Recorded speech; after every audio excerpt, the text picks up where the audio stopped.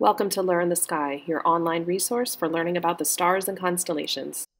Welcome, my name is Janine, and in this video we're going to explore the concepts of apparent magnitude and absolute magnitude. This is one of my videos in my Versus series, which we will take a look at very similar concepts, yet different concepts in astronomy and compare the two. So let's start with apparent magnitude. Apparent magnitude is the brightness of an object as it appears to us in the night sky. But there's another type of way to measure magnitude that astronomers use called absolute magnitude. An absolute magnitude measures the brightness of a celestial object if it was placed at a certain distance from Earth, and that determined distance is 10 parsecs also known as 32.6 light years away. So when we're looking at the absolute magnitude, if we are here on Earth, we want to know how bright that star would be if it were 10 parsecs from Earth. So I'll give you an example. Aldebaran is the red eye of the bull in the constellation Taurus, right there. Okay, and if you want to know more about Taurus, I've got a bunch of videos on it, so be sure to go check those out on my channel.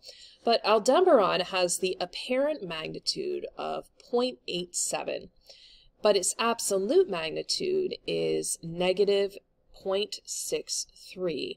So what does this mean? Well, before we talk about the difference between the two, I just want to remind you that the magnitude scale is an inverse scale, which means it works in reverse. So the lower the magnitude of a star, the brighter the star. So in terms of absolute magnitude right here, it's a pretty bright star because it has a negative value. It's still a bright star in general. You should be able to see it with the unaided eye.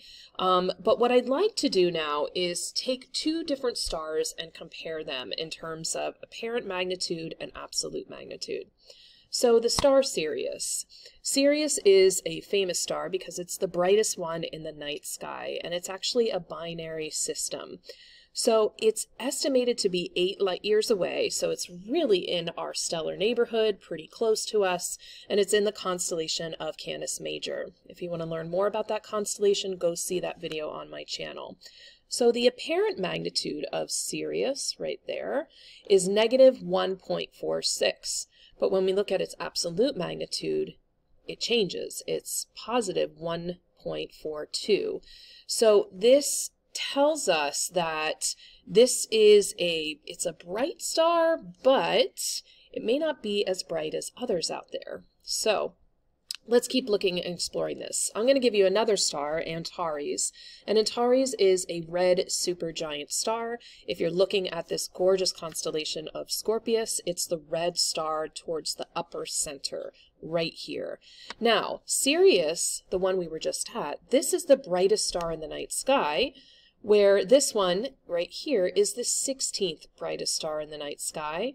It's much further away, at 604 light years away, and it's in the constellation of Scorpius. So now we're going to look at the apparent magnitude and absolute. So the apparent magnitude, it's a variable star, so it ranges from 0.6 to 1.6. So on the order of a magnitude, it can change its brightness. But when you look at its absolute magnitude, look how much it changes. It's negative 5.9, which means you're going in the brighter direction. So if you have a negative value, that means it gets brighter. So what does this mean? How is this 16th brightest star now have a larger absolute value than say the one Sirius right here, which has this absolute value? Well, that's all about its size and temperature. So I'm going to pull up this diagram for you, and you may have seen pictures like this before where it does a size comparison. So we were looking at Sirius and Antares. So we're going to start at number one. This is a size comparison of all the terrestrial planets. Here we have a size comparison of Earth, which was the largest thing in this in this portion of the of the picture, and we compare it to the Jovian planets. And as we can see, Earth is much smaller than the Jovian planets. Let's go to number three. Okay, we have Jupiter right here. This is Wolf, uh, star Wolf 359. Okay, so it's close to us in our stellar arena. We have the Sun, and then we have Sirius. So We are looking at Sirius earlier, so Sirius is bigger than the sun. But now we're going to keep going. Here's where Sirius is, and this is its size compared to Pollux, Arcturus, and Aldebaran. So we didn't even get to Antares yet in Scorpius. Now we're going to go to the next photo, and this is Aldebaran. And this is Rigel, and then this is Antares. So it's very difficult to conceptualize, but here, this is Aldebaran, which is right here, and that's how much bigger Antares would be than Aldebaran. But look at Aldebaran compared to Sirius. So I'm wondering, would if we would put Sirius in this photo, would it even be a pixel? I'm not even sure. But what this shows you is it allows you to see how the temperatures and sizes of stars change when you look at the absolute magnitude. Now the HR diagram, which stands for Hertzsprung-Russell diagram, is a classification system we use and a chart that will compare star color, star temperature, and luminosity, and it allows us to classify different stars. So Sirius would be up in this range, and Antares is over here. So when you're looking at this chart, you have star temperature, which also relates to its color. So the cooler stars at 3000 degrees Kelvin are going to be a reddish color. Stars that are much higher in temperature, such as 30,000 Kelvin, are going to be blue in color. And this will also determine its luminosity, which is how bright it is, and which also relates to its size. So this is such a beautiful diagram because it explains so much. I've got another version of this here, which I like because it just gives you a better idea in terms of size when we're looking for the dip when we're comparing different sizes of stars. So again, Sirius is going to be right in this arena, and Antares is going to be over here. It's a supergiant star coming to the end of its life, so it's much larger even though it's much cooler. So that's why it has it that reddish color. And these letters that are across here stand for spectral class. And the there's a mnemonic I've learned uh, throughout my years in this uh, to remember it, which is Oh, be a fine girl, kiss me. I have that right down here. So that's a way I remember spectral class. So the HR diagram is a really great tool that we can use to help us predict temperature, color, as well as brightness and estimate its size.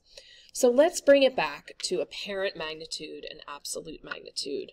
They're similar in the sense that they're both classification systems that use um, brightness as a measurement. Okay, so we look at a star's brightness and we're able to measure it, but they're different. Apparent magnitude is brightness as it appears to the observer, where absolute magnitude is brightness from a certain distance, and that distance is defined as 10 parsecs or 32.6 light years.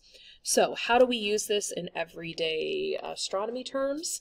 Well, we can use it, at least apparent magnitude we can use when we're looking at star maps. So I have star maps like this all the time that I use um, in the different videos on my channel. And down here, you can see it gives you a magnitude scale. You should know when you're looking at this, we're looking at apparent magnitude. So what is the brightness of a star as it compares to us here on Earth?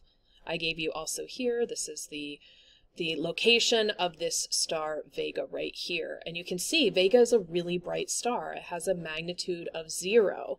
So, but its absolute magnitude would be different than what its apparent magnitude is. So I hope this video was helpful for you to compare these similar yet different concepts. I really enjoy doing these versus videos because it allows us to focus on different types of content. So as you go outside, remember it takes time, patience, and practice to really learn the stars. As you go outside, make sure you're spending more than 10 minutes so your eyes can adjust to the darkness. You're going to end up seeing more. So thank you again for watching. If you have any questions or comments, leave them in the comments section below. Remember, it takes time, patience, and practice to understand and study the stars. So keep going outside and keep looking up.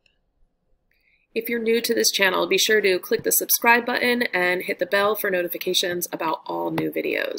If you'd like to learn about the sky in greater detail, be sure to visit my website. I've got some freebies for you to download as well as online lessons and classes for you to experience. So be sure to check them out.